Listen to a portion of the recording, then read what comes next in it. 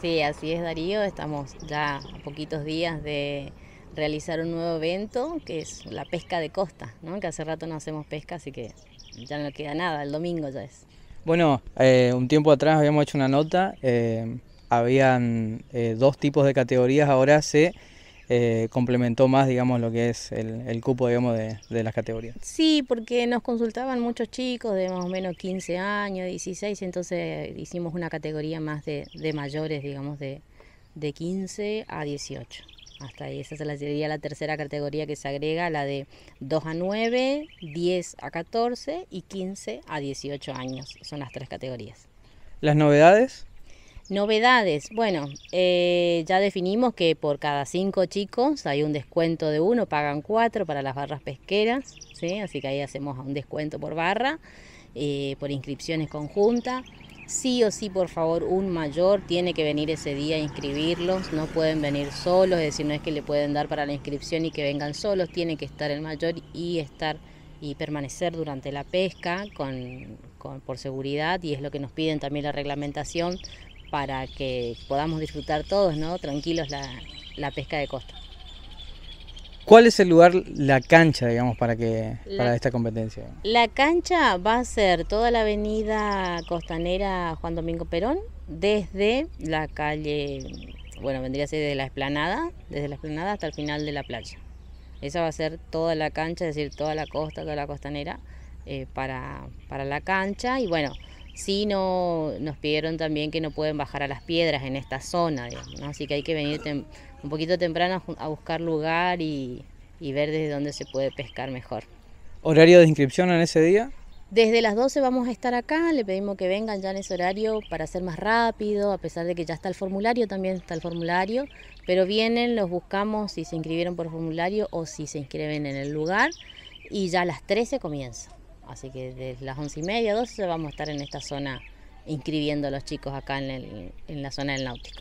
¿Van a haber trofeos y premios para las distintas categorías? ¿no? Sí, todas las categorías tienen trofeos, pieza mayor también, eh, y sorteos. Muchísimos sorteos tenemos para los chicos, para que puedan disfrutar con toda la familia, las casas de pesca, los comercios, nos han dado de vuelta hermosos regalos para los chicos y muy muy contento también que se pueda hacer una pesca, ¿no? justamente iniciando las vacaciones de julio.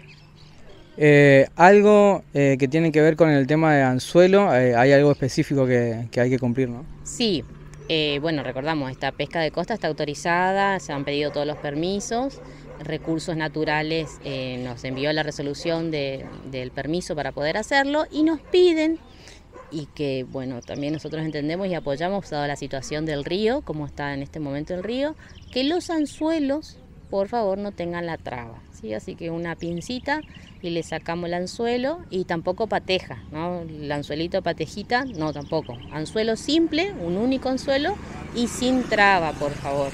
Igual, bueno, sí, para nosotros vamos a traer pinzas acá también para poder sacarlas y se llama lo que le dicen anzuelo sin muerte, ¿no? O sea, porque podemos sacar y, devolverlos, hacer la devolución que tenga sobrevida el pez. Así que bueno, eso es, lo que nos pidió Recursos Naturales de la provincia eh, para, para fomentar otro tipo de pesca eh, de conciencia, de cuidado del río, hasta que bueno, hasta que el cauce se normalice de vuelta y, esto que esta situación que es de bajante que estamos viviendo, ¿no?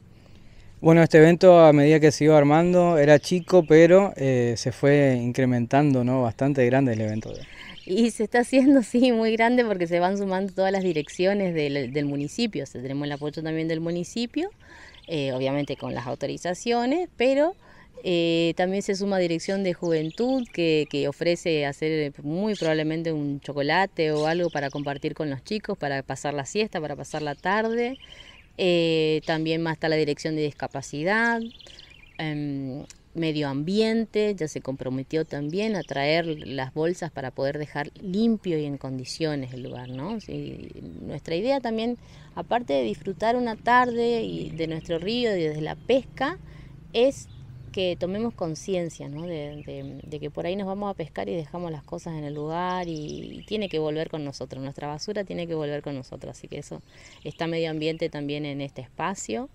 Eh, bueno, deportes, casi todas las direcciones se están sumando para, de alguna manera, eh, que esto sea una fiesta para, para todos en esquina el domingo. Bueno, un gran domingo para disfrutar. Eh, van a estar los feriantes también. Sí, feriantes, va a haber, bueno, seguramente que torta asada para compartir, para tomar el mate y algunas otras cosas más. Están los feriantes eh, que van a traer sus puestos, casas de pesca también. Eh, van a traer este, un stand de exposición, de venta, por si hace falta algo. Ya, ya, se comprometieron no solo con los, con los regalos, sino que también con su presencia. Así que bueno, estamos muy contentos y, vamos descubriendo historias a medida de que nos llegan las inscripciones o nos consultan. Historias muy lindas de chicos que ya están entusiasmados por venir, de barras pesqueras que se armaron rápidamente eh, y que habla de bueno, ¿no? de esta, de esta tradición y este gusto por el, por la pesca. No solo de esquina participan, ¿no? No, tenemos, tuvimos una consulta de una familia de Río Negro que viene de vacaciones a esquina y ya quería asegurarse su lugar, así que ya se inscribió por el formulario, ya se contactó con nosotros. Eh, vienen de, la gente de Goya también, gente de Goya que también este, suele participar con nosotros en, la, en el kayakismo, ahora trae sus, sus niños y vienen a la pesca. Así que sí, la verdad que mucha gente se va sumando.